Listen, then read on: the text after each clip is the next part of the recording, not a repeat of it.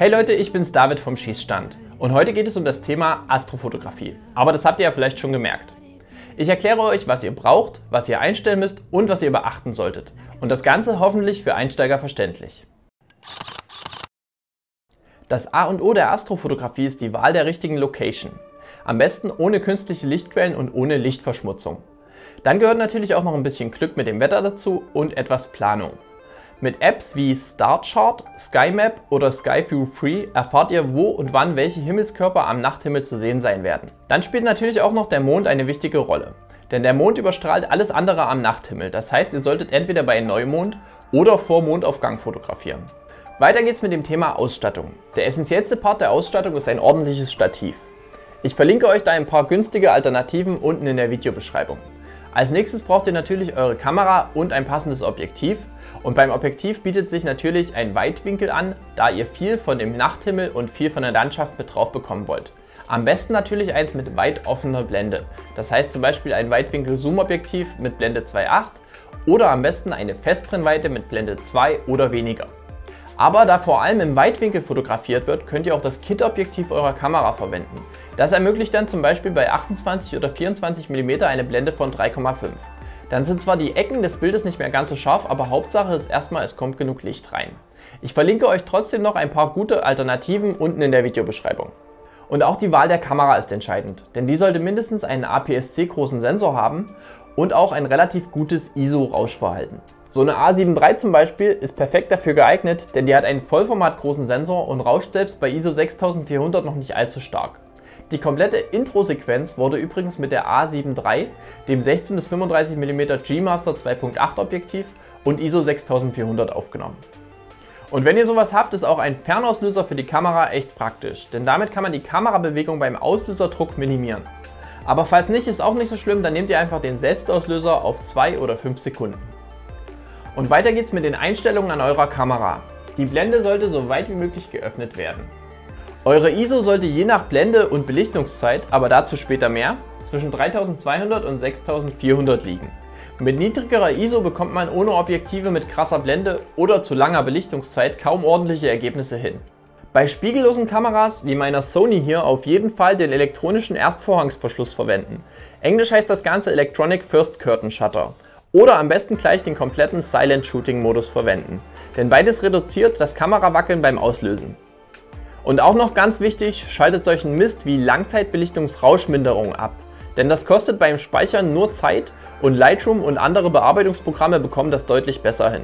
Die Kamera wird in den komplett manuellen M-Modus geschaltet.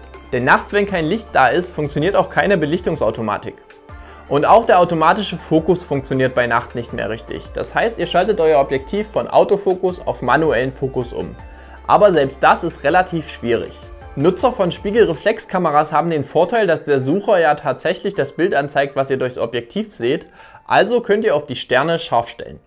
Aber bei spiegellosen Kameras ist das nicht ganz so einfach, denn ihr seht auf dem Display einfach gar nichts. Rein absolut gar nichts. Ihr könnt nicht fokussieren. Das Ganze ist Rätselraten. Und bei Sony-Objektiven mit Focus by Wire wird euch dann eine kleine Skala unten im Display angezeigt und der eigentliche Unendlichpunkt liegt nicht am Ende der Skala, sondern relativ kurz davor. Da hilft dann nur probieren, aber nach drei oder vier Aufnahmen solltet ihr hoffentlich wissen, wo der Fokus sitzt. Bei Objektiven mit einer Fokusskala ist das relativ einfach, denn dort sitzt unendlich meistens auch dort, wo es eingezeichnet ist, wenn auch nicht immer.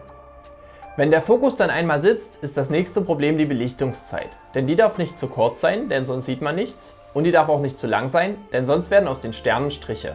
Und das ist abhängig von der Pixeldichte eurer Kamera, von der Brennweite eures Objektivs, von eurer Position auf der Erde und von der Position des Himmelsobjekts, was ihr fotografieren wollt. Als erstes gilt, umso kleiner die Brennweite eures Objektivs, umso länger könnt ihr belichten.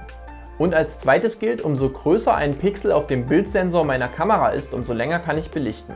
Ich kann also mit einer 24 Megapixel Sony A7 III länger belichten als mit einer 42 Megapixel Sony A7 R III und mit der wiederum länger als mit einer 24 Megapixel Sony a6300, denn auf deren APS-C-Sensor sind die Pixel noch kleiner.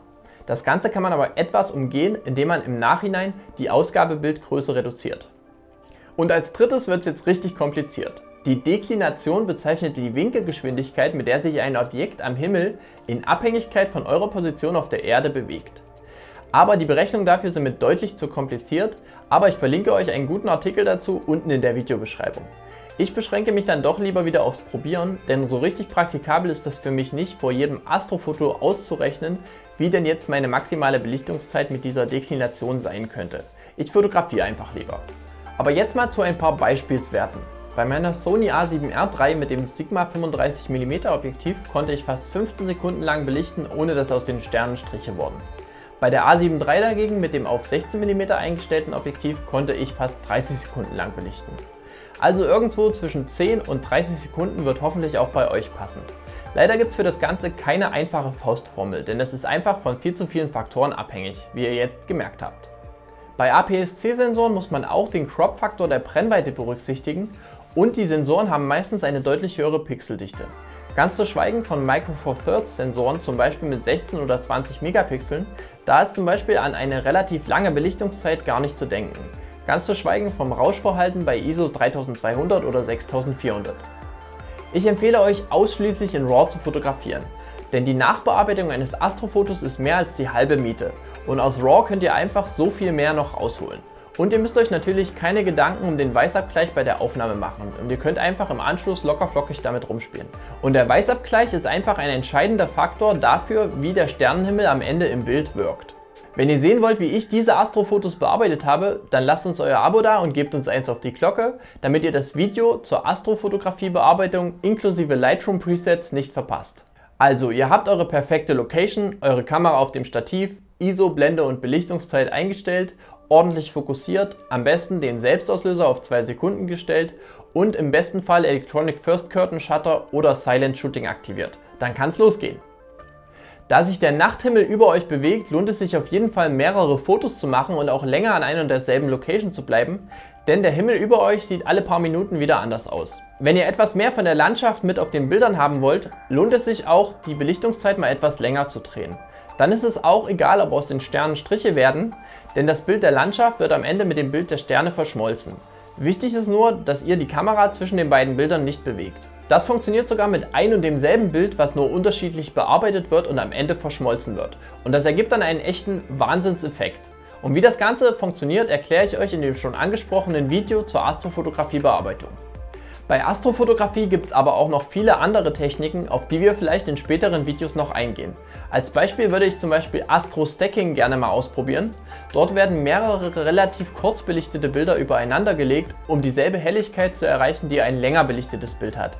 Aber das Ganze reduziert das Rauschen. Wenn euch das Video gefallen hat, würden wir uns natürlich über euren Daumen nach oben freuen und wenn nicht, dann lasst uns in den Kommentaren wissen, woran es gelegen hat.